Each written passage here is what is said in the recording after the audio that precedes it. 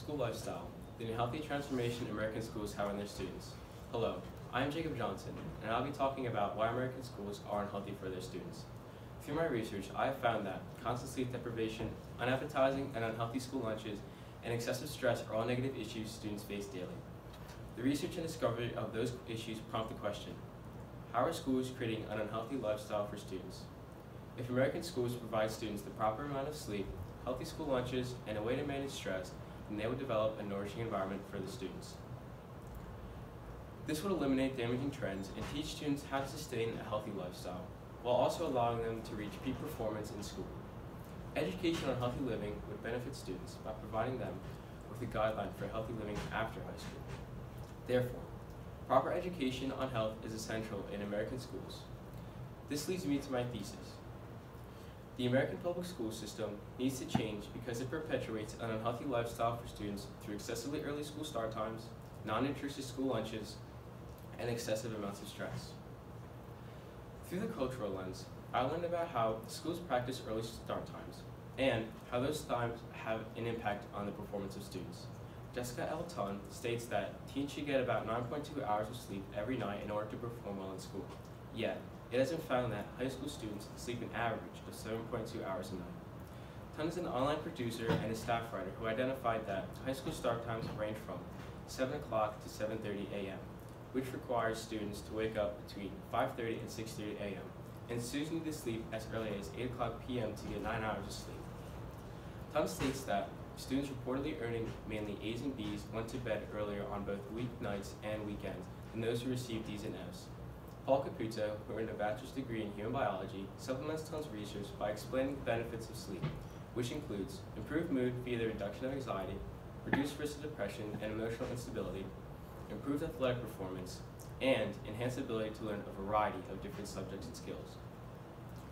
All the effects of adequate sleep are ideal for proficient performance among students. Tunn proposes moving the start times of schools forward by explaining that 39,000 student Minneapolis school system changed its high school starting time from 7.15 a.m. to 8.40 a.m., which resulted in improved attendance, less sleeping in class, and less student-reported depression. Moving the start times of schools forward would allow students to be better suited to perform at high levels within the school environment. Parents, coaches, and students of the school district were concerned that the later high school dismissal would cut into, into sports teams' practices and thus hurt athletics. Contrary to the district's opinion, the school won a championship in boys basketball, boys football, and girls basketball the same year the district moved the school start time. Through the scientific lens, I was able to learn about how high schools are creating an unhealthy, creating unhealthy lunches that contribute to obesity. Candice Norvell, a writer who specializes in English and literature, states that schools, school lunches are unhealthy and, un, and unappealing to students. Norvell explains that school lunches have 85% more sodium, 50% more saturated fat, and 25% more fat of all kinds than the U.S. De Department of Agriculture, the USDA, recommends. Mark Ellman, who earned a Bachelor of Science degree and a medical degree, supplements Norvell's conclusions by proposing the idea that increased childhood obesity seems to be linked to increased intake of unhealthy foods rather than decreased energy expenditure. Ellman expands on his claim by explaining that the rise in meat, cheese, and frozen dairy products in school meals contributes to obesity. He reveals, he reveals that within a yearly amount of food consumption per person since 1909 to 2007, meats went up from 124 to 200 pounds, cheese went up from 4 to 33 pounds, frozen dairy products went up from 1.5 to 25 pounds, and oils went up from 35 to 87 pounds. Norvell and Ellman both reveal that unhealthy and unappealing lunches are being served to students.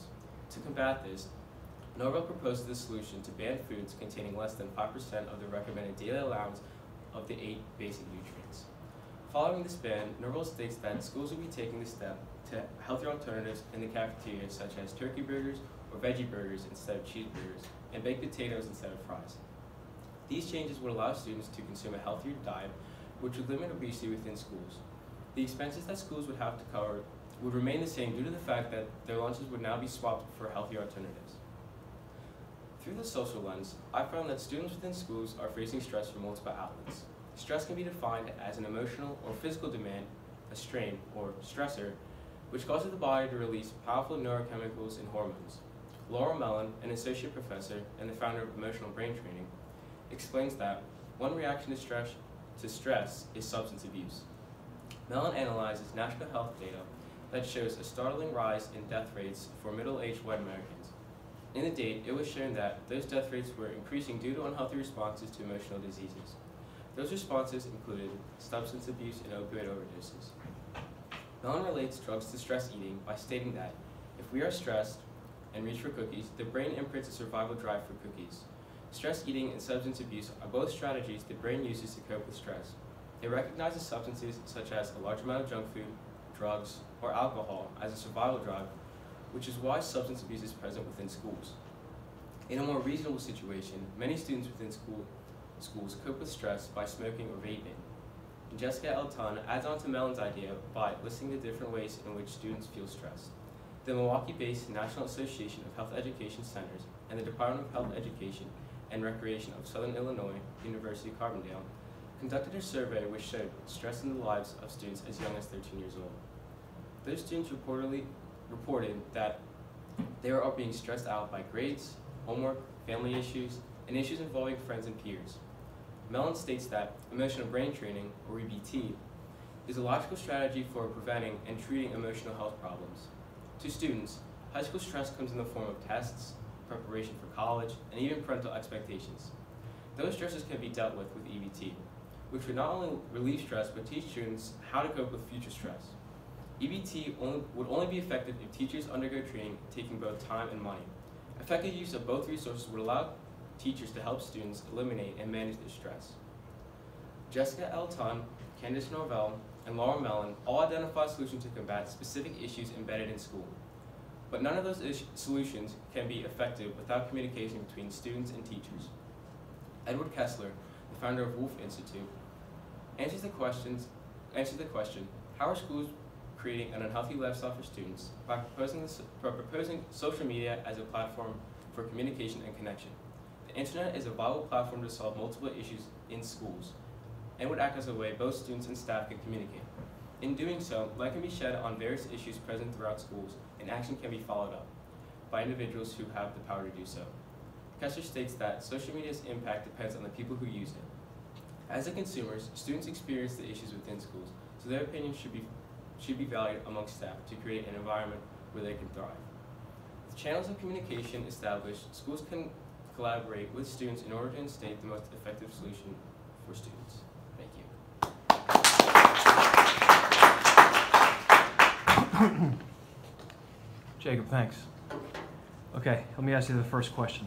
Uh, what evidence did you gather that you didn't use in the paper or the presentation? And why did you choose to leave it out?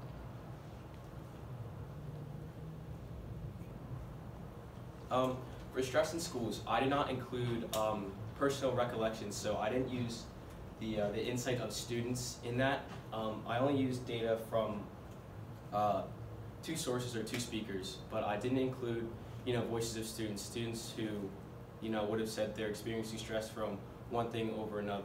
I only took the voices of the sources that I gathered. Okay. And two, uh, how does your conclusion respond to any of the other research or sources that you examined? Can you repeat the question, please? Yeah, I'm, I'm asking you about your um, the solution you came up with with, with Kessler. So how does that uh, that conclusion respond to the solutions that were offered by your other sources? Okay, so the solutions offered by the other sources obviously, you know, dealt with specific issues within schools, but Kessler really did all three of them together and proposed a solution, uh, an effective solution to to make sure those are effective. So uh, Jessica Elton Ton uh, states that uh, a solution to early school start times would obviously be uh, later start times. Candice Norvell states that uh, you know healthy alternatives to school lunches now, and Laura Mellin uh, proposes EBT as a solution um, for, for stress in school. And then Edward Kessler just reels all them together by proposing that all three of those solutions can be effective through social media. Students can, you know, talk to staff and you know, they will have the power to, to do anything about it. So they can only be effective that way. Okay, thank you.